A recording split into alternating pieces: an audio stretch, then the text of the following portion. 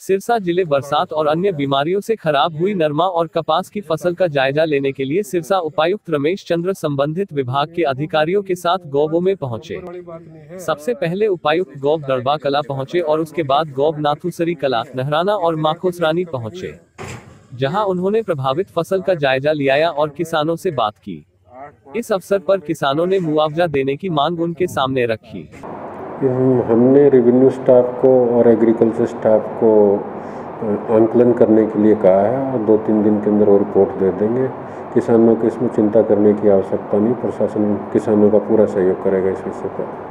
Sir कितना अनुमान है कितना नुकसान हो अभी नहीं कह सकते। अभी कुछ फील्ड्स देखे थे उनमें कुछ जगह नुकसान था कुछ जगह बिल्कुल भी नुकसान नहीं था। तो लेकिन बहुत ज़्यादा एरिया में नहीं है कुछ एक एरिया में है और इसका आंकलन किया जाएगा। आपको बता दें कि ज़िले में नरमा और कपास की फ़सल में सडन बिल्ट की बीमारी का प्रकोप बढ़ा है। इसे देसी भाषा में शॉर्ट मारना भी कहते हैं, जिससे नरमा के पौधों से पत्ते काले होकर झड़ गए हैं और नरमा के पौधे पर नामात्र टिंडे ही लगे हैं। बीटी नरमा की फ़सल खराब हो चुकी नरमा के पौधे पोषक तत्वों के अभाव में खराब होने से किसानों की नींद उड़ा दी है। अचानक नरमा की फ़सल को शाट मार गया, जिससे फ़सल सूखने लगी है। डॉक्टर गुलाब सिंह की रिपोर्ट।